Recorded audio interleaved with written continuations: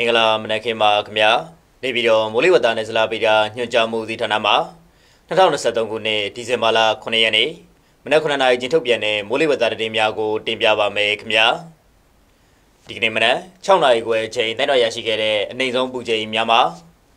နေပြည်တော်ရန်ကုန်မြို့နယ်မန္တလေးမြို့တို့မှာ22ဒီဂရီဆယ်စီယပ်82ဒီဂရီဖာရင်ဟိုက်0ဖြစ်ကြပါတယ်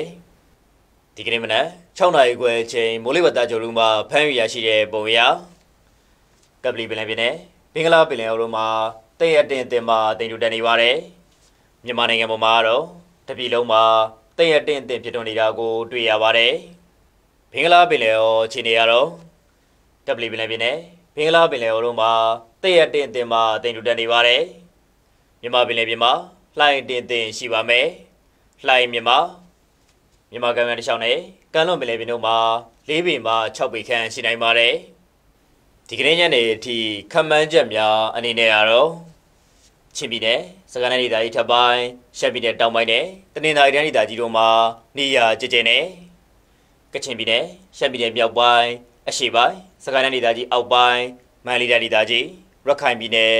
ရန်ကုန်တိုင်းဒေသကြီးနဲ့မွန်ပြည်နယ်တို့မှာနေရာကွက်ကြားမိုးထစ်ချုံရွာပြီးမကွေးတိုင်းဒေသကြီးနေပြည်တော်ပဲခူးတန်းဒေသကြီးအေရဝတန်းဒေသကြီး ကယားပြည်နယ်နဲ့ကရင်ပြည်နယ်တို့မှာတည့်ရတင်တင်ဖြစ်တော့မှာပဲနေပြည်တော်နဲ့နီးတွားရီအတွက်ဒီကနေ့ညနေအထိမိုးလေဝသအခြေအနေခန့်မှန်းချက်မှာတည့်ရတင်တင်ဖြစ်တော့မှာပဲအမြင့်ဆုံးပူချိန်မှာ32ဒီဂရီဆယ်စီယပ်90ဒီဂရီဖာရင်ဟိုက်ရှိနိုင်ပါတယ်ရန်ကုန်မြို့နယ်နီးတွားရီအတွက်ဒီကနေ့ညနေအထိမိုးလေဝသအခြေအနေခန့်မှန်းချက်မှာနေရာကွက်ကြားမိုးနှဲငယ်ထစ်ချုံရွာနိုင်ပါတယ်အမြင့်ဆုံးပူချိန်မှာ 36ဒီဂရီဆယ်စီယပ်69ဒီဂရီဖာရင်ဟိုက်ရှိနိုင်ပါတယ်။မန္တလေးမြို့နယ်နီးတူဝါရီအတွက်ဒီကနေ့ညနေအထိမိုးလေဝသအခြေအနေခန့်မှန်းကြပါလေ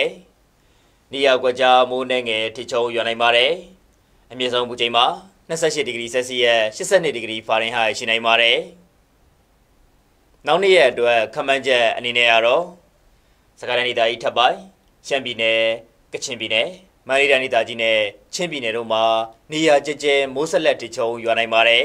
။အခုတင်ပြခဲ့တာကတော့ဒီကနေ့မနက်9နာရီချိန်ထုတ်ပြန်တဲ့မိုးလေဝသတတိများပဲဖြစ်ပါတယ်။ကိုစိတ်နှဖျားကျမ်းမာချမ်းသာကြပါစေခင်ဗျာ။